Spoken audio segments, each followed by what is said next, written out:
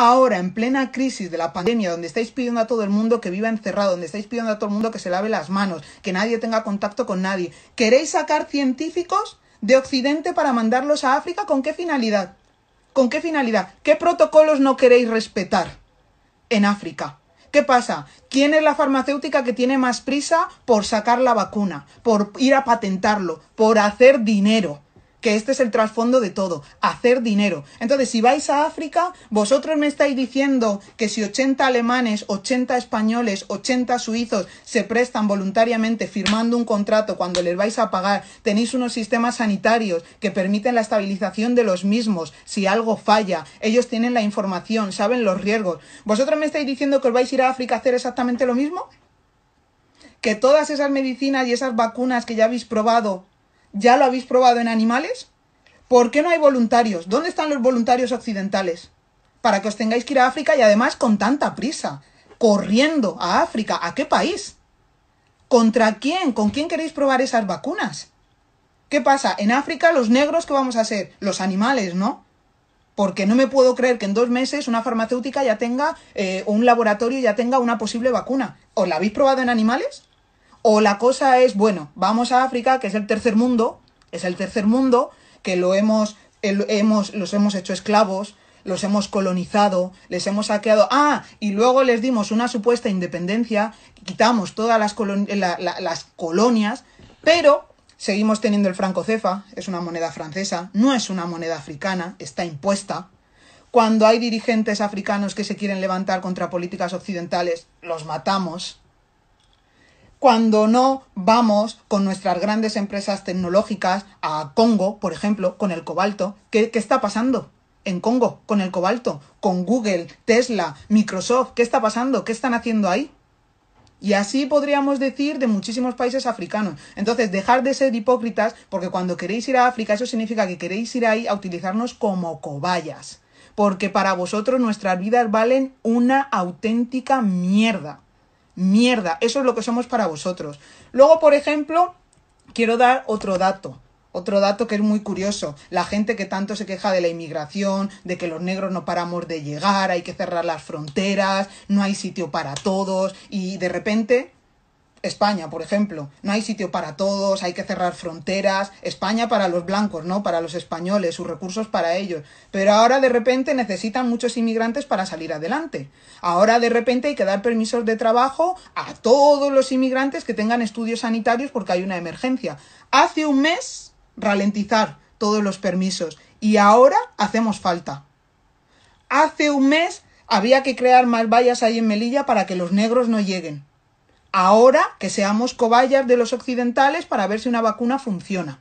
Claro, o sea, en España, en Occidente no están muriendo suficientes para que os tengáis que ir a África. Pero bueno, para todos esos que dicen que en África no hay nada, que somos los pobres a los que siempre hay que salvar de todo. Por ejemplo, tenemos el paludismo, tenemos la malaria, que es lo mismo, tenemos el dengue. ¿Por qué no erradicáis esas enfermedades? Por ejemplo, ¿por qué?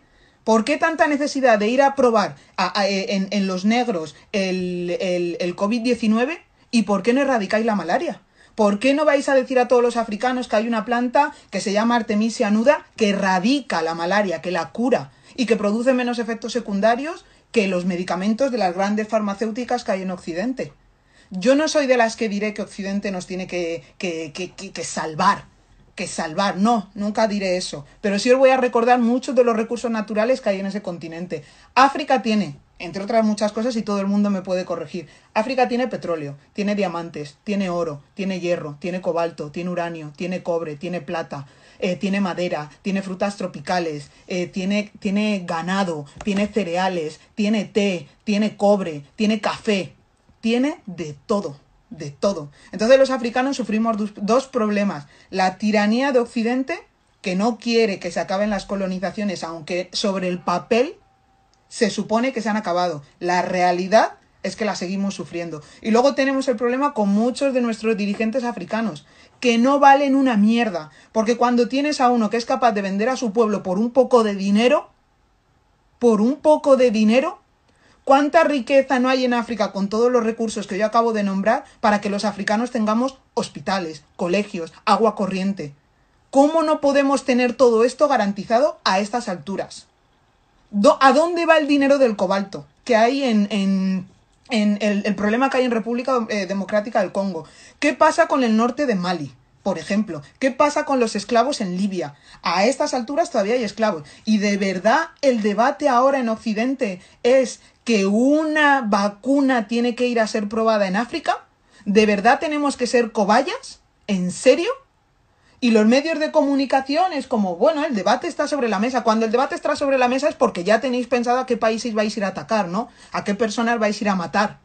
Porque decir la verdad, si vosotros, porque la cosa, que la gente no vea que los negros no quieren eh, que se pruebe sobre ellos, no quieren ser voluntarios, pero luego sí quieren beneficiarse de los logros. Eso no es verdad. Y quien lo diga, miente. Ningún negro, ninguna persona con dos dedos de juicio, con dos dedos de frente puede decir, no, aquí no vengáis a probar, pero luego traer la vacuna. No, ese no es el debate. El debate es en qué condiciones se quiere ir a probar en África. ¿En qué condiciones? Y hay más muertos en toda Europa que en toda África. En toda África. Ahora la, la, la, la, tendencia se ha invertido. Por lo general siempre estamos viendo en las malditas televisiones los malditos anuncios estos de SOS vamos a salvar a África, ¿no? La pobreza, la hambruna, la malaria, todo todo, porque los de África somos unos miserables que necesitamos siempre que alguien nos venga a salvar. Pero es que no es verdad. Es que somos un continente súper rico, tenemos de todo. Pero tenemos ese problema. Uno, tenemos que luchar contra nuestros propios dirigentes. Y otro, empezar a sacar a la luz todo lo que Occidente hace en África. Todos los que os quejéis de los, de los flujos migratorios, que no queréis inmigrantes, preguntaros cuál es la raíz del problema. Preguntaros cuál es la raíz del problema. Porque ¿en qué cabeza cabe que una persona puede creer que el agua, el agua, es un lugar más seguro que la tierra. La tierra es suelo firme. Tú caminas y sabes dónde pisas. ¿Quién puede caminar sobre el agua? ¿Quién? Decidme quién quiere salir desde su país de origen hasta Europa, en un cayuco, con mafias. ¿Quién? Pero los dejamos morir ahí en el Mediterráneo, porque son los pobres. Pero ahora que necesitamos de ellos, muchos países Ahora sí hay que regularizar a todos los inmigrantes que tengan estudios sanitarios. Ahora sí, porque interesa. Y ahora, bueno, como Occidente es el que tiene la gran emergencia sanitaria, la pandemia, entonces ahora sí hay que obligar a los negros de África que se sometan a esos test. Pues no. Pues no. Y cuanto más, cuanto más fuerte hablemos, cuanto más negros seamos en avisar a todos los africanos que en Europa no existe test contra el COVID-19, que no sean cobayas, que los voluntarios sean los de Occidente. Si yo quiero ser voluntaria, yo puedo serlo, no hay ningún problema. Puedo ir mañana a un hospital del país en el que vivo y decir que quiero ser voluntaria. O puedo ir al país al que nací y decir que quiero ser voluntaria. Pero es que yo, Rosa, me voy a presentar uno, de manera voluntaria, libre, libre y además con un consentimiento no viciado, que eso es muy importante, porque yo tengo toda la información, a mí me van a hacer firmar un contrato. ¿Cuánto dinero dan a los dirigentes de África para que permitan que se haga eso en sus países? Cuando tú intentas comprar a un dictador o a un presidente, tú ya sabes que lo que vas a hacer no está bien. Y si también estuviera, lo haces con tu patria. Lo haces con tu patria. Los dos médicos franceses de ayer, uno encima director eh, era jefe de una unidad de un hospital de París. París. ¿Tú sabes cuántas personas de etnia negra viven en París? ¿Y de verdad esos tienen que estar en manos de ese tipo de médico? ¿Y quién ha exigido el despido de ese médico? Y del otro médico que le animaba que sí, que hay que ir a África a, a testar, a testar a los negros. Total, no importa, no importa, si no tienen medios. En África, todo el mundo pidiendo, no, todo el mundo en casa, todo el mundo en casa, que todo el mundo se lave las manos. ¿En cuántos sitios no hay agua corriente? ¿Cuánta gente vive de lo que vende en el día a día saliendo a la calle? Pero de verdad hay un proverbio chino que dice, a distintas cerraduras, distintas llaves. Pero si el, el, problema grave, grave, grave está en Occidente, probar con todos los que están en Occidente, porque vuestros estudios primarios los estáis haciendo con personas occidentales. Y cuando digo personas occidentales pueden ser de cualquier etnia, pero occidentales. Dejar de hacer creer a la gente que los negros no nos infectamos tanto porque nos infectamos. Dejar de hacer creer a la gente que los negros tenemos un sistema inmunitario superior porque probablemente no sea ni cierto, sino que todas estas noticias que vosotros habéis estado sacando estas semanas atrás sea una manera de allanar el terreno para justificar la masacre que vais a ir a cometer en África. Eso es lo que estáis haciendo y eso es lo que todo el mundo tiene que saber.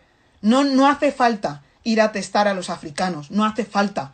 La, situación es, es más grave en Occidente que en África. No significa que dentro de unas semanas no pueda ser igual de grave en África. Pero las precauciones que están tomando todos los países son asombrosas. Uganda, que no tenía ni un solo infectado, cerró sus fronteras. ¿Qué país europeo hizo eso? Viendo Italia, España no podía haber cerrado sus fronteras. Cuando todos vimos lo que pasó en China, los científicos no empezaban a alertar de que esa epidemia iba a llegar a, Europa. ¿O qué pasa? Que todos dijimos, bueno, como es China y es otro, y, es, y está ahí lejos, y tienen un sistema comunista y son dictadores, no, eso no nos va a afectar a los europeos. No, porque los flujos migratorios no existen. La gente no viaja, no cambia de país. Y ahora ha llegado a Europa y ahora hay que ir a África. Hacer ahí, a probar. A África hay que ir con el número de muertos que estamos teniendo aquí. Esos dos médicos que hablaron ayer son unos desgraciados. Y todos los médicos que le sigan, y todos los químicos que le sigan, y el resto de científicos que sigan a esos médicos son igual de desgraciados. Igual igual. Los negros no necesitamos ser vuestras cobayas. Eso es lo único que quería que todo el mundo supiera. Y ojalá todos los negros de todas las partes del mundo alcemos la voz. Porque al final, si nosotros no nos levantamos, las cosas no van a cambiar. Uno no puede eh, creer que Occidente nos va a dar la llave para liberarnos. Cuando tú, cuando tú tienes a Occidente que te está atacando, hay que empezar a decir no. Y cuando tienes a tus dirigentes que no te representan, hay que empezar a decir basta. Y no hay vacuna contra el COVID-19, no hay vacuna. Que lo sepa todo el mundo, no hay vacuna. Y los negros no somos cobayas, somos personas y nuestras vidas valen. Buenas noches.